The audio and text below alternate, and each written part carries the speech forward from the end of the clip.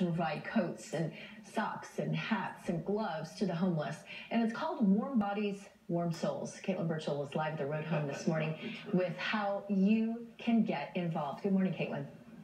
Good morning. All of your donations will help out nine organizations from, you know, everywhere. I mean, literally in our area, Davis County. We're talking about it locally in the valley. So we have so much to talk about this morning. But how is this coming together and who, who's making this Warm Bodies, Warm Souls um, organization and drive happen? Well, it's these three gentlemen. How lucky am I this morning? Thank you for getting up so early. Let's start with you, Roger Christensen. You're with the Bank of Utah. You guys yes. have been doing this for six years now. That's correct. This is our sixth annual Warm Body, wow. Warm Souls drive. And we are so grateful to give back to the community in which we live and help those that just need a little helping hand to get back to where they need to be and keep them warm at nighttime. I mean, that is what it's all about is stepping out of ourselves and helping our community because they help us in so many different ways. And whether it's your customer or just someone who knows, you know, your bank's down the road, stop in and that's where you can drop off some donations. Exactly. Drop off some gently used clothes, even some new clothes. You can even drop off cash if you want to. We'll take that. Oh, you like cash at the bank. I we love cash.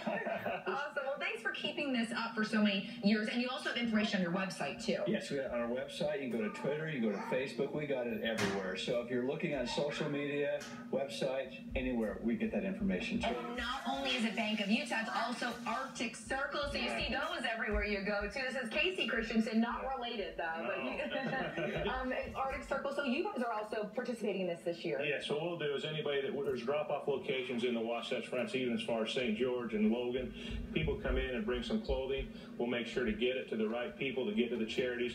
And when they do that, we'll give them a coupon for a free double cheeseburger that they can use instantly or give, share with friends, give back, and just let the giving continue. Amazing. And when you spill on your shirt, like I always do, you have to go to a red hanger. So when you're going through your closet to finding what you know what you need cleaned, eh, you might also find something to drop off and donate. And that's where Ryan Fish Red Hanger is another location to drop off this year. That's right. We're thrilled to be part of this organization and to be able to give back to our community.